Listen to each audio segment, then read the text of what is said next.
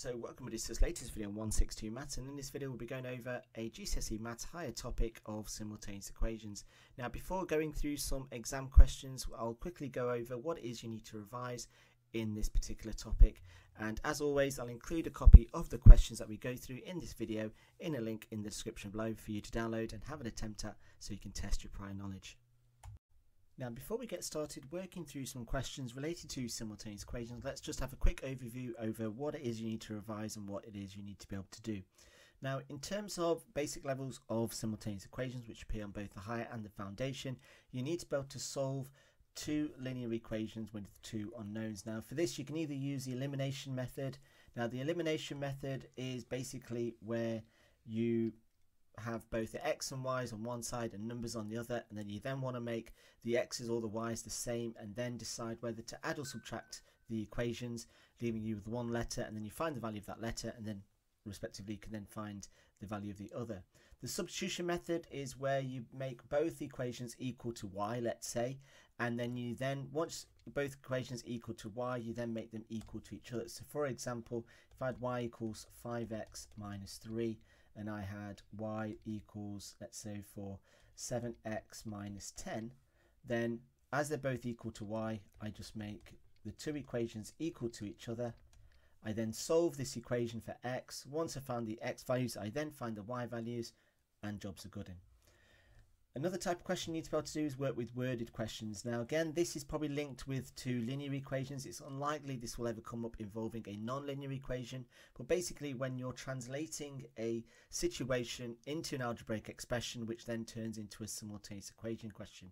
Where this is proved common or where you may have seen these questions before is questions like if two adult tickets and two children tickets cost £45 and five child tickets and two adult tickets cost £46, work out the price of three adults and one child. So that would be a wordy question where you translate the information into an algebraic uh, equation and then solve it simultaneously. Now then we start moving on to the higher. Now with this you need to be able to then work with one linear, one non-linear and be able to solve them simultaneously. Now typically this can also involve using the elimination method or the substitution method but generally speaking, what you will find then is where into linear equations you end up with one set of solutions, so an x value and a y value. When you've got one linear and one non-linear, there is a chance that you may end up with two sets of coordinates. So where you've got an x, two x values and two y values, but make sure that when you write your answers that you are pairing your answers together. Then the last one is being able to work with solving equations simultaneously by using a graph.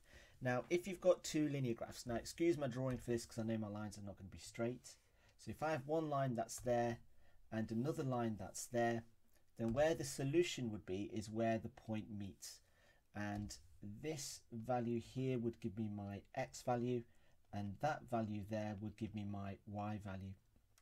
And if I've got one linear and one non-linear, so let me just draw a parabola and let's say I draw a straight line, then this coordinate here would be one solution so that would be my x value that would be my y value and for this point here that would be my x value and that would be my y value. So when you're solving some um, simultaneous equations graphically it's basically finding the coordinates of the intersection points of those lines whether it be two lines or a curve in a line or in some weird places you can get this but it's more at A level you can have a curve and a curve.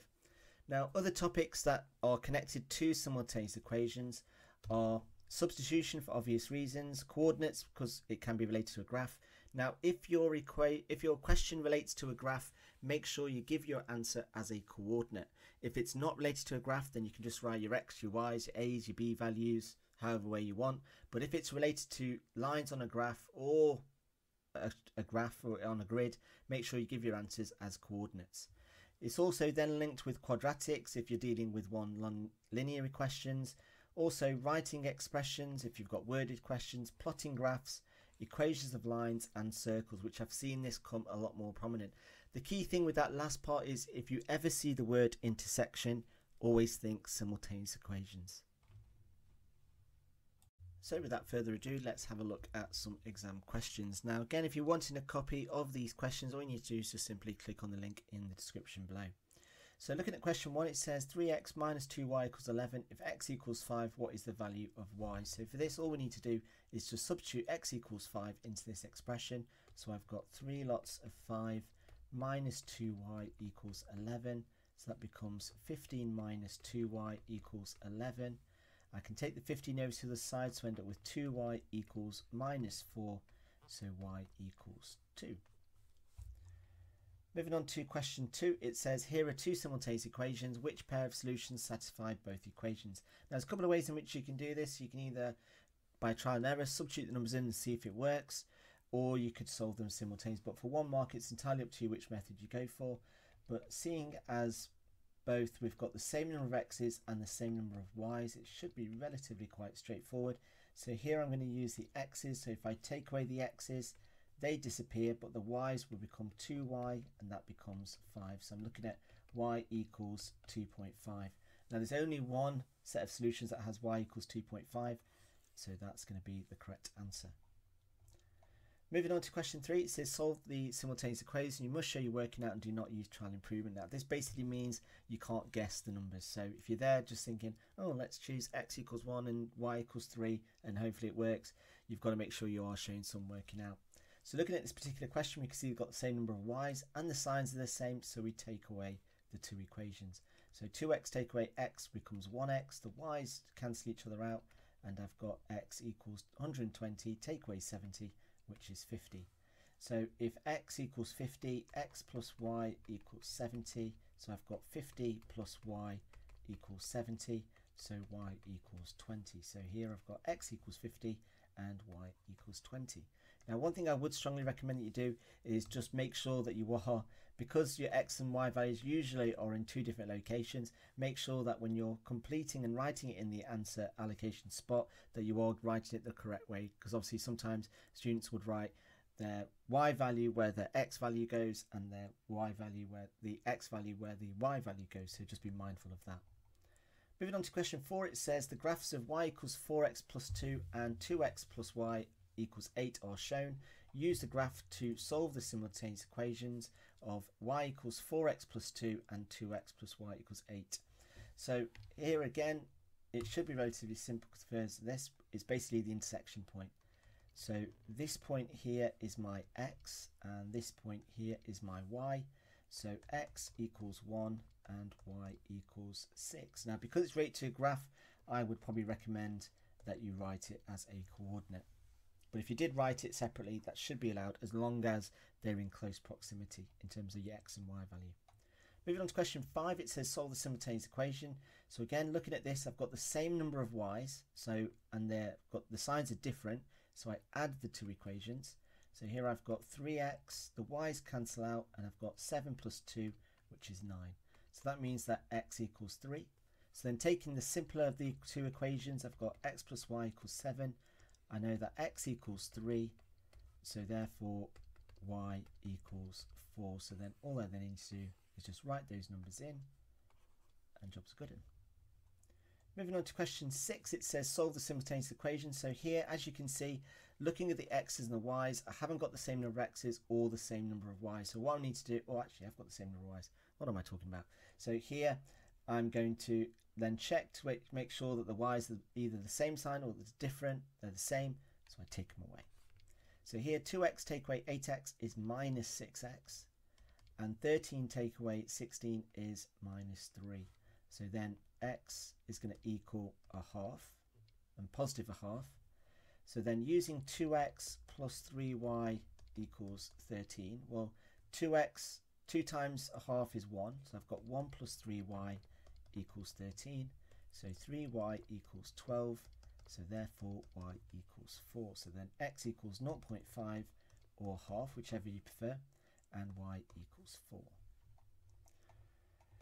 Moving on to question 7. So here we've got a worded question. It says, in a fish and chip shop, two fish and one portion of chips cost £10.20. Three fish and four portions of chips cost £19.80. And the question is asking me to work out the cost, one fish and two portions of chips. So let's first of all translate this into an algebraic expression. So I've got 2f plus 1c equals £10.20 and I've got and I'm gonna now this one I'm just gonna be a little bit coy because the second bill is more I'm gonna write that one above.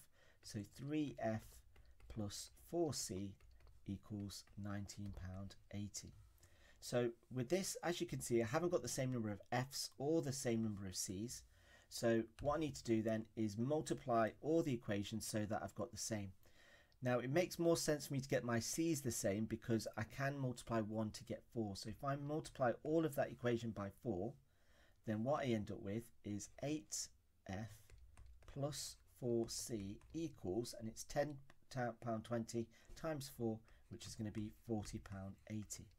So if I then bring back the original one, and I'm writing that underneath because it's smaller, and then my c's are the same they're both the same sign, so I take away. So 8f take away 3f is 5f.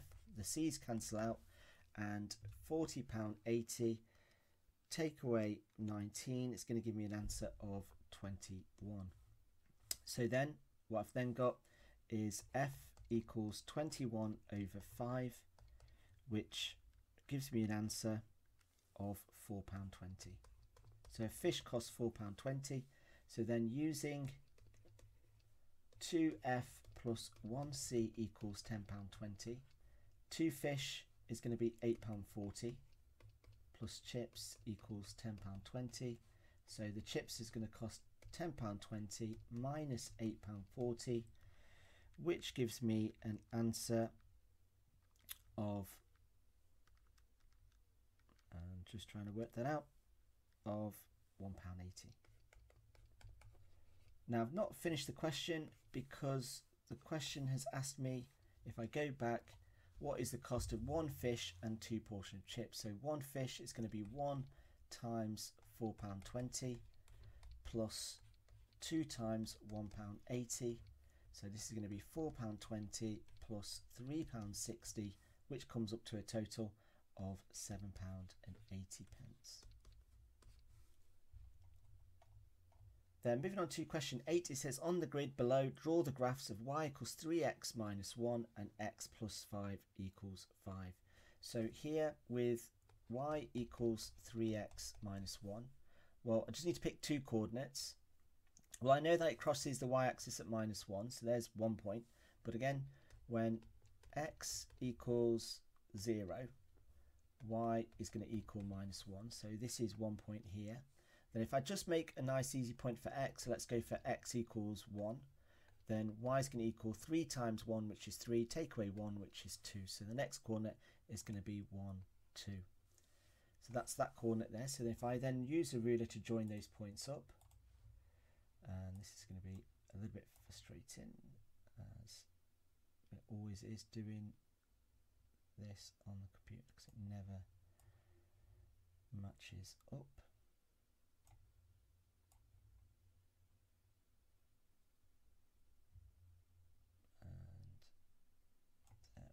Just extend that line so it goes through those two points. Hopefully yours will be a lot more accurate and a lot quicker than mine. So this line here is y equals 3x minus 1. Now for the next one we've got x plus y equals 5. So when x equals 0, y is going to equal 5. So one coordinate is 0, 5. So 0, 5 is there. And when y equals 0, x is going to equal 5. So another coordinate is 5, 0, which is there. So all I then need to do is to draw a line that connects those two points together. And again, what you want to try and do when you're drawing these lines, just make sure that it does cross the axes. Extend it a little bit further so it goes to the border of the graph or the squares that you've got. So there is my answer. So then what I then want to do is to solve this equation, which is basically these two bits here are the two lines that I've drawn, is I then need to solve this equation. So I make that x ordinate to be 1.5 and the y ordinate to be 3.5. So again, might be slightly off, but if you use your graph, it should be fine. So x equals 1.5 and y equals 3.5. Moving on to question 8c, it says, are the solutions to the simultaneous equations 3x minus 1 and 3x plus 4 by referring to your graph or otherwise explain your answer? Well, there aren't going to be any solutions, and the reason for that is because there is no intersection point between these two lines as they are parallel. And if you remember, parallel lines do not meet, and if they don't meet, then there's no intersection points, which means there's no solutions. So then moving on to question 9, it says solve the simultaneous equations. I've got 2x plus 4y equals 1 and 3x minus 5y equals 7. So again, what I notice straight away is that my x's aren't the same and the y's aren't the same. So what I'm going to need to do is multiply both the equations by a number so that I've got either x is the same or y is the same. I'm going to go for x is the same, so I'm going to multiply this first equation by 3 and the second equation by 2. So if I do that, I'm going to end up with 6x plus 12y equals 3 and I'm going to end up with 6x minus 10y equals 14. So then as the x's are the same and the same sign I take away the two equations so 12 minus minus 10 becomes 22y and 3 take away 14 gives me minus 11. So y is then going to equal minus 11 over 22 which is minus a half. So then if I pick an equation, I've got 2x plus 4y equals 1. So I've got 2x plus 4 times minus a half equals 1. So 2x plus, that's going to be minus 2, equals 1. So 2x is going to equal 3. And so x equals 3 over 2 or 1.5. So x equals 1.5 or 3 over 2. And y is going to equal minus 0.5 or minus a half. Then moving on to question 10, uh, I don't think we're ever going to get a quadratic equation, so um, I'll find one and I'll stick one on there because obviously I want to make this topic test as inclusive as I can.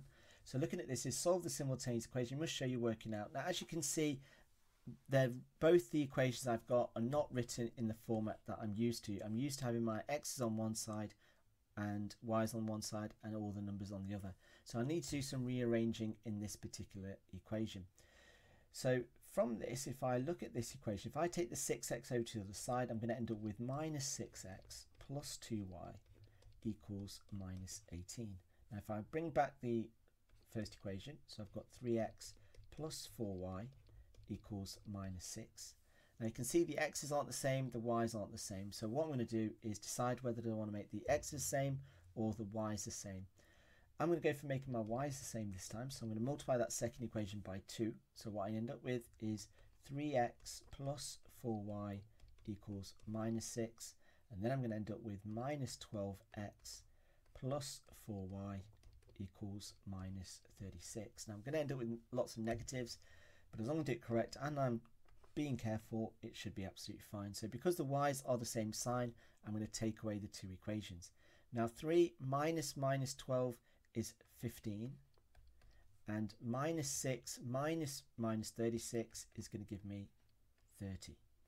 So that means that x equals 2. So then picking one of the equations, so let's go for this one here, it doesn't really matter which one we go for. So I've got 3x plus 4y equals minus 6. Well, that's going to equal 6. So I've got 6 plus 4y equals minus 6. 4y equals minus 12 so y equals minus 3. So then my answer then is x equals 2 and y equals minus 3. Now, apologies for not recognizing that there were no non-linear and linear equa simultaneous equation questions on the topic test. So what I've done is just collected three questions that we'll go through related to that particular side of simultaneous equations. Now, unfortunately, this is not on the topic test, so you will need to work off the screen if you're wanting to have a go at this question. So if you want to have a go at this question, just simply pause the video and then unpause when you're done. So looking at this particular question, when the whole general method, when you've got this, is you've got one not linear equation, which is our top one, which just involves single x and single y's, and we've got a non-linear equation. Now the general method is you want to make one letter the subject in the linear equation, which in this question, thankfully, it's already done for me because I've got y equals the subject. So what I then need to do is sub, well, preferably not right with a highlighter. So then what I want to do is sub y in the linear equation with the y in the nonlinear equation. So here what I'm going to do is rather than using y, I'm going to swap this with y. So what I end up with is 9 minus x equals 2x squared plus 4x plus 6. So if I take all of this over to this side because I want to keep x squared positive, I get 0, 2x squared plus 4x, and I've got not 6, or maybe 5x rather, then it'll be 6 minus 9, which is minus 3. I then need to make sure, check to see if this factorising, which it should, because there's no indication in the question that says give your answer to two decimal places. If it does, I need to use quadratic formula. But generally speaking, more often than not, these types of questions will involve some factorising. So again, if I use a magic number way, just going a bit old school, we get two numbers that multiply together to equal minus 6 and added together to equal positive 5. So here I'm looking at 6 and 1, 6 and 1, and I'm looking at positive 6 and minus 1. So then replacing that, I get 2x squared plus 6x minus 1x minus 3 equals 0. Then factorising the pairs, I get 2x, x plus 3, and then minus x plus 3 equals 0. So factorising this, I get 2x minus 1 and x plus 3 equals 0. So then x is going to either equal half or minus 3. So then using the equation, once I've got this, then using y equals 9 minus x, when x equals 0.5, y is going to equal 8.5. And when x equals minus 3, then y is going to equal 12 because 9 minus minus 3 turns to a plus become 12. So my answer is then going to look like x equals 0.5, y equals 8.5. Make sure you make that sure that those two pairs are together. Or x equals minus 3 and y equals 12. And again, make sure that those two pairs look like they're paired with each other. Then moving on to our next question. So here it says solve the simultaneous equation. Again, no indication about rounding, so there's a good chance it's just going to be using um, factorising to solve. So again, I've got my linear equation, I've got y the subject, so no rearranging involved. So I'm going to swap the y in the nonlinear with x minus 3. So substituting that in, so y squared is going to look like x minus 3 squared equals 2x plus 29. Now if I expand this out, recognizing it's double brackets, so it's x minus 3, x minus 3 equals 2x plus 29. So I get x squared minus 6x plus 9 equals 2x plus 29. And we're then going to take all of this onto this side, so end up with x squared minus 8x minus 20 equals 0. Then factorise so two numbers that multiply together give me 20, added together give me minus 8. I'm looking at 10 and 2 and they are going to be, it's going to be minus 10 and positive 2. So then my x value is either going to equal minus 2 or 10. So then using y equals x minus 3, when x equals minus 2, y is going to equal minus 2 minus 3, which is minus 5 and when x equals 10 y is going to equal 10 minus 3 which is 7 so there are my two answers then moving on to the last question it says prove algebraically that the straight line with the equation of x minus equals 2y plus 5 is a tangent to the circle with the equation of x squared plus y squared equals 5 so again looking at the linear equation I've got x as subject so I'm going to swap x with 2y plus 5. So here I get, rather than writing x squared plus y squared equals 5, I'm going to write 2y plus 5 squared plus y squared equals 5. So then expanding the brackets out, I end up with 4y squared plus 20y plus 25 plus y squared equals 5. And I've just kind of jumped ahead just to save a bit of time, but that's basically what those two things equal each other. Then simplifying, I get 5y squared plus 20y plus 20 equals 0. Now at this stage, I should notice that I've got factors of 5. So if I divide everything by 5, both sides by 5, then 0 divided by 5 is just 0. I end up with y squared plus 4y plus 4. then it's a case of then factorising this. So I've got y plus 2, y plus 2 equals 0. So y equals minus 2. And then when y equals minus 2, x is going to equal 2 times minus 2 is minus 4, plus 5 is 1. So then, as you can see, I've only got one set. So as we only have one coordinate, the line intersects I can spell it, which clearly I cannot. Oh. intersects the circle at one point only and if a line meets a curve at one point only so therefore it must be a tangent it's really important that you do write that statement the fact that as there's only one solution one intersection point it means that the line and it is a straight line is going to be a tangent to that circle